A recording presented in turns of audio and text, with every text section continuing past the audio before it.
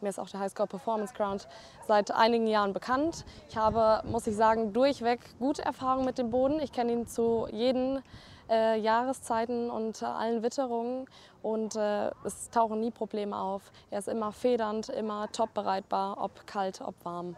Ähm, das Wasser fließt gut ab, ähm, aber auch im Sommer durch die Matten hat man immer noch genügend Feuchtigkeit. Also ich bin durchweg begeistert. Und auch dieses Wochenende hat man wieder gesehen. Ich hatte leider das Pech in einer Prüfung mit einem Pferd, hatte ich Starkregen. Man hat auf dem Boden nichts davon gemerkt.